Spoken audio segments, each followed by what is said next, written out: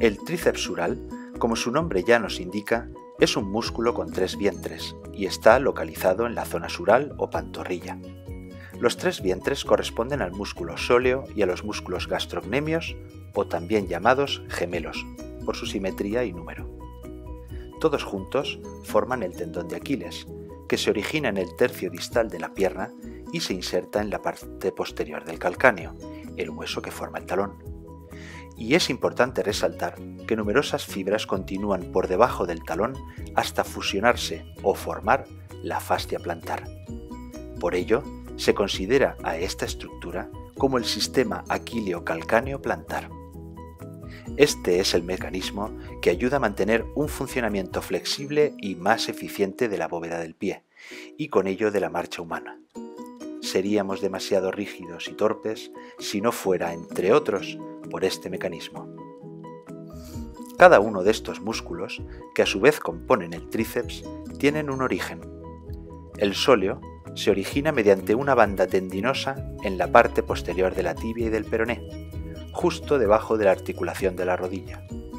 Los gastrocnemios o gemelos tienen su origen mediante tendones que nacen justo encima de los cóndilos, que forman la articulación de la rodilla, en su parte posterior.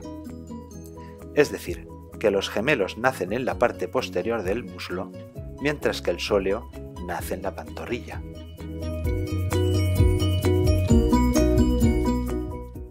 Vamos a por ello. Para realizar los ejercicios excéntricos de tríceps, nos colocamos a medio metro de una pared o de algo a lo que nos podamos sujetar. Los pies, las piernas, la cadera y la espalda deben estar rectas y alineadas. Nos ponemos de puntillas y cuando ya no podamos elevarnos más, paramos y bajamos muy lentamente, muy poco a poco, hasta llegar a la posición inicial. La bajada debe durar 5 segundos notarás tensión en el tendón de Aquiles. Date cuenta que en este tipo de ejercicios lo que se potencia es la fase de máximo ejercicio del tendón, con el fin de que aumente su elasticidad y capacidad de soportar tensión. Por ello es por lo que mantenemos durante un tiempo ese momento de la contracción muscular.